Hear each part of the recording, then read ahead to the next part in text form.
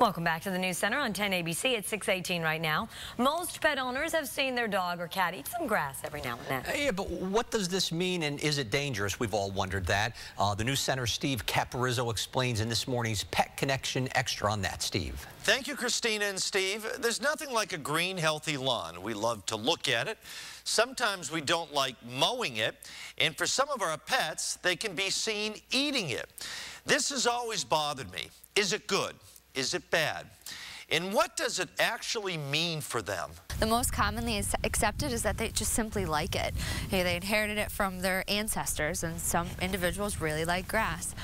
Other times it can be from some medical reason. Maybe they have some nutritional deficiency or some gastrointestinal upset and they need a little bit of extra roughage to try to settle their stomach. You should stop your pet from eating excess amounts of grass. They could eat too much and anytime they do eat large volumes of grass it can cause gastrointestinal upset, either diarrhea or vomiting. A little bit here and there is fine.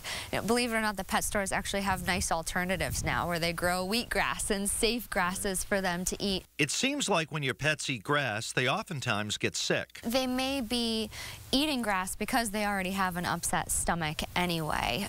Alternatively, it could be, you know, what comes first, the chicken or the egg. They could be eating large volumes of grass and then vomiting secondarily to that. So there's no way really to discern why they're doing it. What other things should you worry about when your pets eat grass? So intestinal parasites are a big one, especially at dog parks when they're out and there may have been another dog who have gone to the bathroom. They could easily pick up certain type of intestinal parasite. Different types of chemicals on the lawn is certainly something to be concerned about. And even poisonous plants, too. Thanks, Dr. Lexi. One other thing to worry about this time of year when you're doing landscaping is cocoa mulch.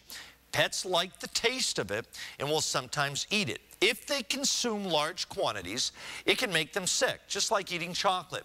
In most cases, they would have to eat a lot of mulch before that ever happens. Back to you guys.